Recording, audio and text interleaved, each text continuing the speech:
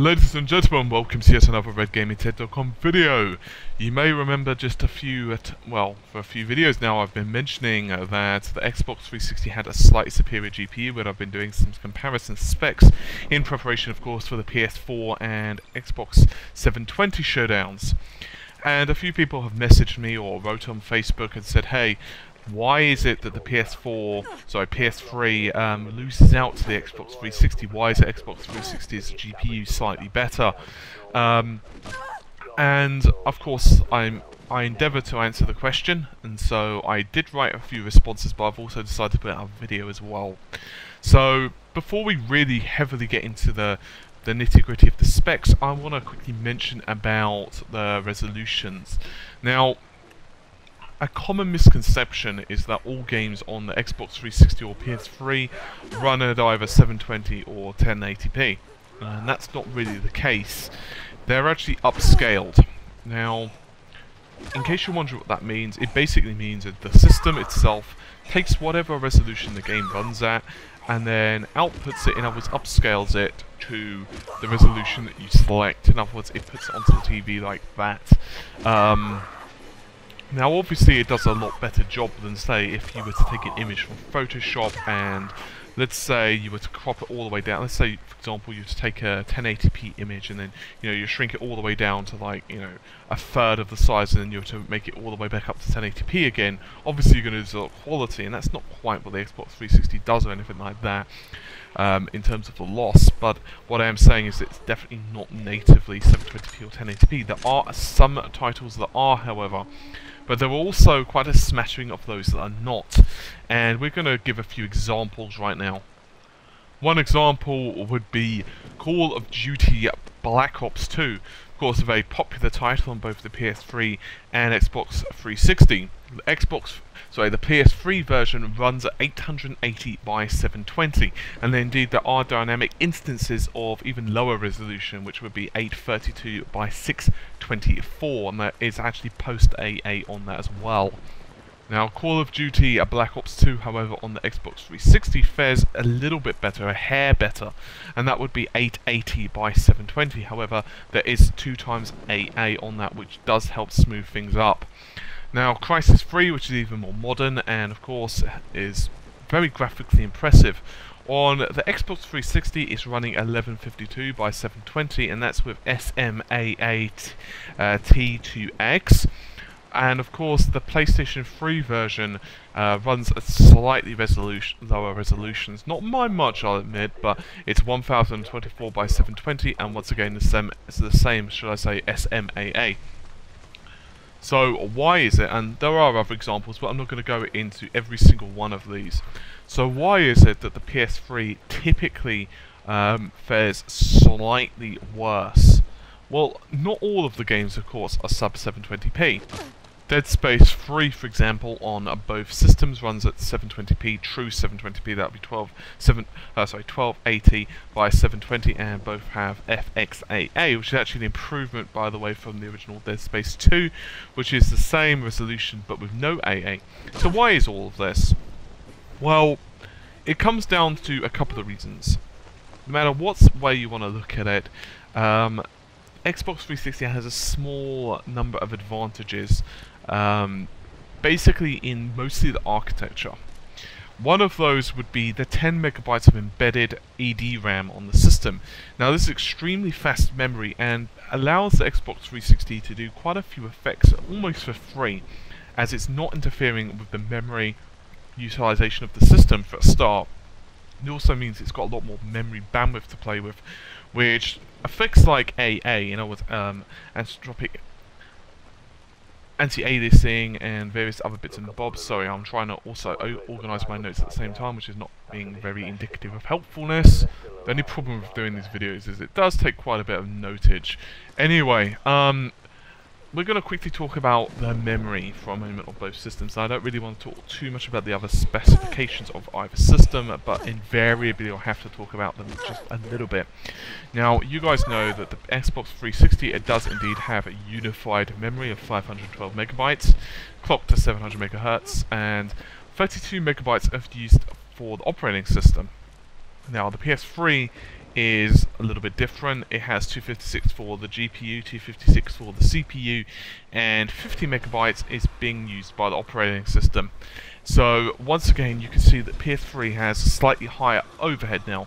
Of course, there has to be memory reserved. Why? Because otherwise the programmers of the games or developers of the games would simply use all the memory and it wouldn't really work with the operating system just how your PC needs a certain amount of memory to say load Windows and the same for your phone or whatever device. Okay, that makes sense and you will understand that. Now in terms, terms of actual raw physical horsepower, the Xbox 360's GPU does have a slight advantage. The RSX, also known as the GPU, which is powering the PS3, um, is running 24 pixel shaders and 8 vertex shader pipelines. Now, these shaders run, or should I say, this clock speed runs at 550 megahertz and performs around 74.8 billion shade operations a second, which is a hell of a lot of shader operations per second. I'm sure you'll agree.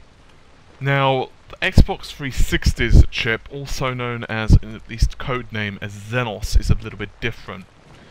Um, it's only clocked to 500 megahertz, which might seem on average, or might seem like, oh my goodness, it's far worse. Well, why is it more powerful? Well, it has 48 unified shader pipelines and performs um, 192 shader operations per clock, and basically that means it's got 96 billion shader operations per second, which is obviously quite a bit higher to say the least. Now if you guys want to do some reading on this, you'll find some um, people who have said that the RSX and the Cell have been extremely difficult to really develop for on the PlayStation 3, and that's not the only reason as well, there have been a few other technical challenges as well. As it turns out, the GPU on the PS3 is probably the weaker point of the system, and the cell is actually very strong.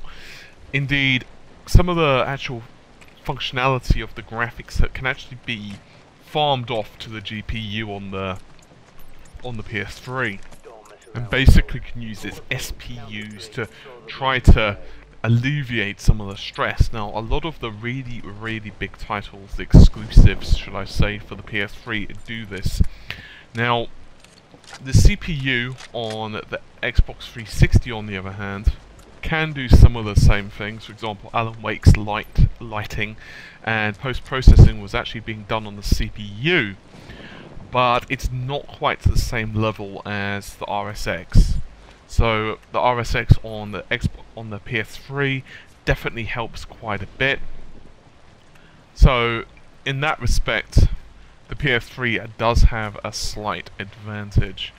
Now what you're going to notice as well, if you've been listening quite carefully, is that the PlayStation 3 and Xbox 720 were not rendering internally at 720p for a lot of the titles. Now that isn't to say all the titles. Uh, there are certain titles that actually do run natively in 720p, as I mentioned Dead Space. However, others are running like 1024 by 720 by 76A and so forth. Why is that? I'm going to quickly explain this as well. Um, it's as simple as saying that it puts less strain on the GPU and because of the less strain on the GPU they're able to you know put out better effects. Now if you really want an example of this there are a couple of ways we can go about to uh, explain it. And that would be anamorphic widescreen. Now if you're a film buff you're probably going to know this a lot more or if you're say highly into video editing you'll know about it. If not if you own a Doom 3 type of engine game those would be say Prey Quake Wars, Quake 4, Doom 3 of course, you can go ahead and start messing around with the resolution options as well as aspect ratio in game. I'm not going to really go through the whole process in this because it will take me a while and it's it's just better for you to actually see it firsthand. Suffice to say that it's not very difficult to understand. The way, the easiest way to explain it, however, a brief summary would be the image is squeezed into the rendered resolution but is then stretched to the proper 16 by 9 presentation. So I think that just about is all I need to say on that particular one. I know that's maybe not as clear as I could be, but I could be here for quite a while explaining about anamorphic widescreen. What I'd recommend you do is you probably do some googling yourself. There's probably some good wiki articles and so forth, which will probably provide a lot more information and uh, diagrams and so on, rather than me having to explain it all to you painfully in a video. Now because of the actual architecture of the GPU as well as the frame buffer that I've already mentioned, the 10 megabyte buffer, it's actually a lot easier for the Xbox 360 to handle a multi-sampling, in other words anti-aliasing of on the system itself. Indeed, in reality, it's easy to say that the PS3 should be able to do it. Now remember that the the actual GPU of the PS3 is for all intents and purposes the G the GeForce 7000 series, uh, slightly cut down. And it does basically mean that the ROPs of the card are capable of handling two times multi-samplings per pixel clock easily. So in a situation where there's unlimited memory bandwidth, or should I say that bandwidth is not an issue at all, in other words, in reality, if someone was to produce a very basic scene, two times MSAA is free. In other words, it doesn't cause any difficulty whatsoever extra for the cards. Reality, however, of course, is very different from, you know, theory. Theory is not like that. In, theory, in reality, the 22 gigabytes per second of bandwidth is a huge issue for the uh, frame buffer. And doing stuff like four times MSAA is extremely costly and would actually do things such as halving the fill rates compared to MSAA and you'll also be seeing double a memory bandwidth consumption as well which is obviously very bad.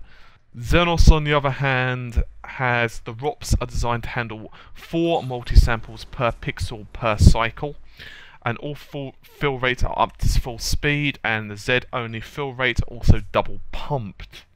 So for all intents and purposes the CPU of the PS3 does help somewhat um, for the GPU functionality of the PS3 but it once again it has to be programmed specifically. Now that isn't to say that the PS3 of course is far worse, it just means it's harder to actually access. And bear in mind that some of the later PS3 titles do look extremely good, for example God of War, um, Uncharted and so on, it just is a little bit trickier, unfortunately. Now, I've also read little bits on the PlayStation 3 not upscaling quite as well as the Xbox 360. Um, it seems that the PureVideo scaler on the GPU is not that great for horizontal or specific front buffer resolutions but I haven't really read that much up about it and I don't want to give you guys information I don't 100% know because that's unfair to both systems. If you are willing to do some googling yourselves I thought I'd throw it out there and you can do that yourselves and then you can comment on the video by all means. Anyway I think that's just about all that I'm really willing to do on this particular video because I'd be here for quite a while. Um, believe it or not, it takes quite a while to do this kind of research. So, um, everyone, of course, right now is really pumped up about the next generation of consoles, and of course, I'll be throwing it all out there. Oh, by the way, um, a few people have also asked me about the Xbox 720's CPU um, and you know how it stacks up compared to the the CPU of the PS4. And I'll be honest with you, no one knows right now. Um, as of the date of recording this video, the specifications of the Xbox 720 haven't really been confirmed yet, and we don't know exactly what they've done on the die for the CPU. In fact, we don't even really know if it is going to be the AMD Jaguar. We surmise it will be, but we don't 100% know that it's confirmed that yes, this will be the AMD Jaguar. The second point I'd like to make is that the CPU on the PS4 has not been completely uncovered in terms of the exact modifications. In other words, uh, let's go with, say, the PS3. We know that the PS3 has had some specific thing done for it on, say, the GPU. And we know the same thing is going to be the same on CPU of the PS4. So we don't know all of those yet, and they will be no doubt announced somewhat on the developers conference. I'm sorry, and we also know, of course, that in a few months' time, after the system's launched, we're going to know a hell of a lot more about it as people start dissecting it. So anyway, I think that just about covers this particular video. Hopefully you've enjoyed it. Um, once again, uh, if you've got any questions, you can message, leave a message on Facebook. To be honest with you, I'm probably better at responding on Facebook because I can usually access it at work and so on, and so I'm more likely to see the message. Um, not always able to do it on the, the YouTube. I do try, but if you don't hear from me, stalk the Facebook RGT account, and I'll probably get back to you as well within a day or two. Anyway, so anyway, take care of yourselves and bye for now.